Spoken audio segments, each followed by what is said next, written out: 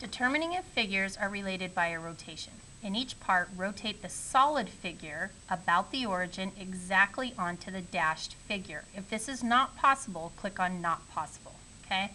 So what I'm going to do here, I mean, in, when you're on the computer in ALEKS, you can actually kind of like grab this bar right here, the x-axis that they have darkened, and swing it around and rotate it. Since I'm not in ALEKS using their rotating tool, I'm going to kind of do it the old-fashioned way with tracing paper here. But I want to know if I can rotate this figure. So I'm going to trace the solid one. That's the one that's going to be rotated. Okay?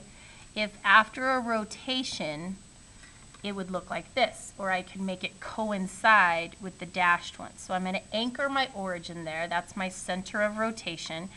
And your, uh, you and ALEKS would just grab this bar here, okay, and rotate it, okay? And I want to know if those two will align. And in this case, they do. When this one is rotated around, it exactly aligns with that dashed one.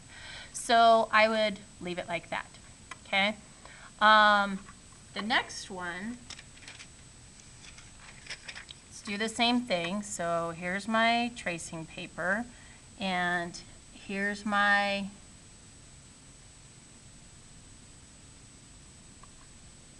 darkened axis that I'm tracing here. Here's my solid figure.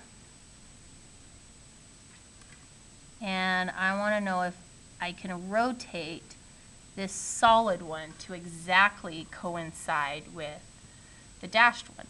So again, I'm going to anchor my origin, my center of rotation, since I'm kind of doing this the old-fashioned way with tracing paper, and I'm going to rotate. Okay?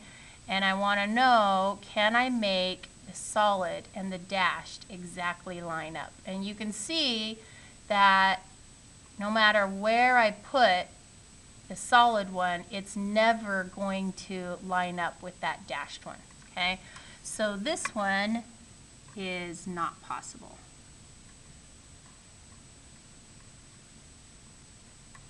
This one actually would align, and you could rotate that, right, to make your solid and your dashed figure align.